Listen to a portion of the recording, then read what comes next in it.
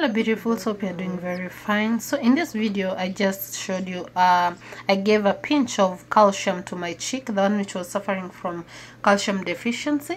So when you give chicks a lot of calcium don't overload on calcium. Please don't overload on calcium. Giving too much can lead to other issues like kidney damage. Yes chicken chicks have kidney. They urinate right? Especially in non-laying chickens or roosters that's why free choice supplements, oyster shells or limestone is generally the best. Make sure the feeds uh, are eating well-rounded diet that includes not just calcium but also the right levels of phosphorus and protein. Please don't give a lot of calcium. Don't destroy your chicks. Don't destroy your kidneys, chicks.